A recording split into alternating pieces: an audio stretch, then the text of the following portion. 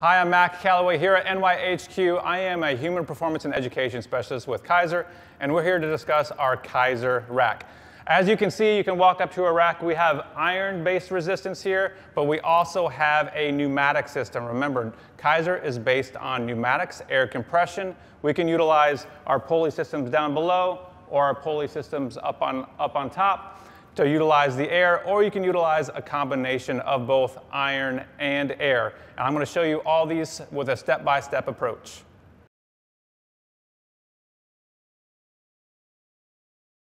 Let's take a look at our Keiser bench. To adjust the bench, you're going to notice these yellow knobs here. All you have to do is press up, and then you can pull up uh, to see any adjustments, and it will go in 15 degree increments. You can lower it down, and again, you can take, there's a little handle at the bottom of the bench. You just lift it up. It's on wheels. You can roll it out and adjust it however you want, and you can come back in, and it will lock in place, so you don't have to worry about that bench moving around back and forth.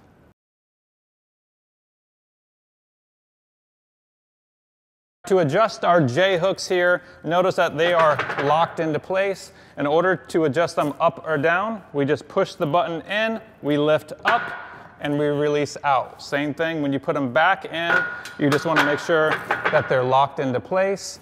And then know that you have our safety bars as well. Same thing, there's not a clip, you just have to raise up and lift out, and you can adjust the same thing, just make sure that they're locked into place.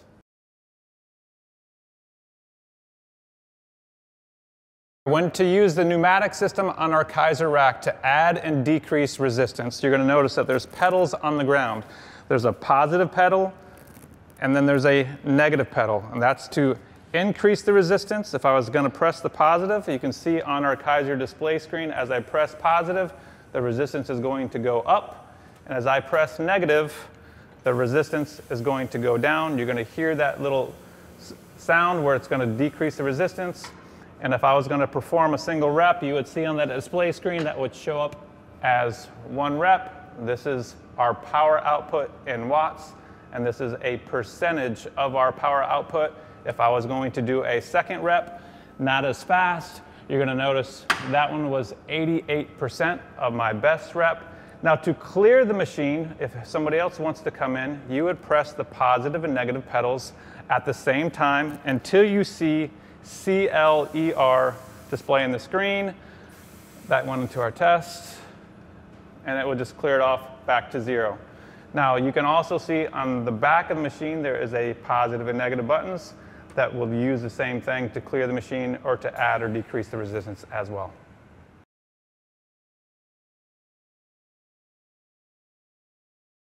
Again, we're going to use our Keiser pneumatic system and our Keiser light bar.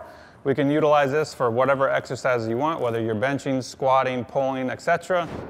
Put it in our J hooks, and now you have our resistance down here. We pull these up. Now, before we pull these up, we want to make sure that we have 10 pounds or less on our system. Again, we don't want to have to pull up 30 or 40 pounds of resistance. So when I pull them up, I got less than 10 pounds. I usually just have my hand underneath the cable system, and you're going to notice the shape of this will fit the shape of the bar and you're just going to slide it into place. And obviously, you're going to do both sides.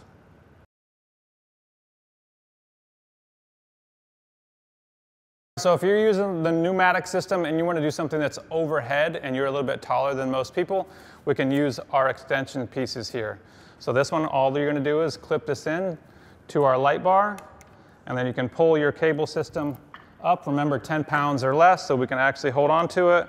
And we're to just clip it in, and we have our extensions on there. So now, when we're pressing overhead, we have full range of motion, and our cable system is not going to run out.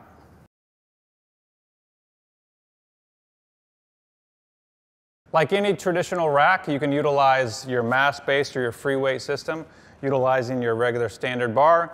Again, we just want to slide this on, and then always use our safety clips or collars to slide down and lock our weight in place.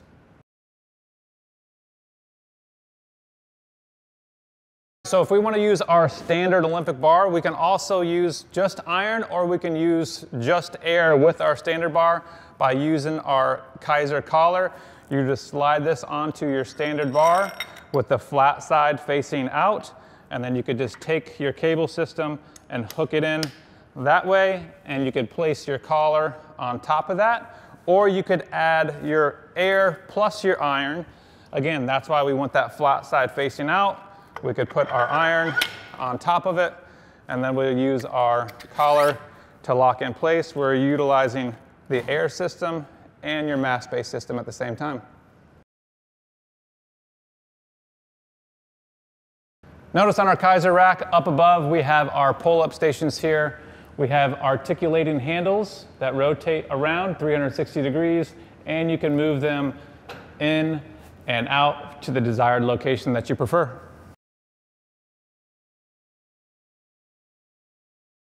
So if you want to use the cable systems up on top, I have the cables wrapped here. You can see you can just unwrap the cables where you have both sides, an outer side and an inner side. What you're going to want to do is take the outside cable and you're going to want to hook it in to our bottom pulley system. So we're locked it into place and that way it has tension on the line. And then you can take, for example, take a handle and you can take your top portion and you can put a handle on there and then you can perform exercises with resistance from coming up on top, such as maybe a lat pull down. Maybe you're sitting on a bench or you're sitting on the ground and we can do a single arm lat pull. Obviously you could hook up the second cable as well and do that. Or you could do your chops from a high position from that standpoint.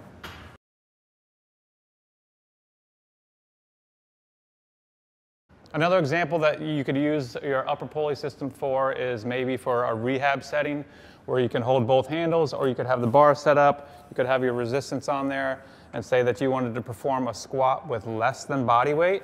You could take off a percentage of your body weight and you can actually have that squat position this way where it's pulling you back up this way. You could utilize the bar with the same thing as well. Or if you want to be more dynamic, you could do dynamics over speed jumps where you're actually jumping and it's pulling you up. Again, we could jump up and it's taking our body weight off of you as well to work over speed training. As you're wrapping up your workout, we want to make sure that we clean up our working space. So we'll take your bars and you can just place them back up and hang them up. We want to make sure that if you utilize the pulley system up on above, I take the outer pulley system and I just pull it all the way down and I wrap it around on the inside and I just wrap it around here so it's out of the way. Everything's nice and clean. We can just tuck it in. And then we want to finish off by, if you were utilizing the bench, again, we pull up the handle and we place it back in. It's locked into place. As you're wrapping up your workout, you want to make sure that you clean up your working space for that next person. So what we want to do is make sure that if you were utilizing a bar, that we're placing that bar back into place. And if you're utilizing the pulley systems up on top, remember you have your lines. We don't want to just leave them hanging out. We want to make sure that we just pull that outside cable all the way tight. And what I do is I just wrap it around on the inside of the rack. So again, we don't have cables just hanging there. And then if you were utilizing the bench, we want to make sure that we pull that bench back into place by raising that handle. It's on wheels. It's locked into place. And then our station is set up ready for that next person. Now, if you want to make sure that you know, you can go to that QR code and it will link you to Box to find out any other information that you might want. For example, other exercises that you could perform with our equipment or any other educational information as well. Thanks a lot.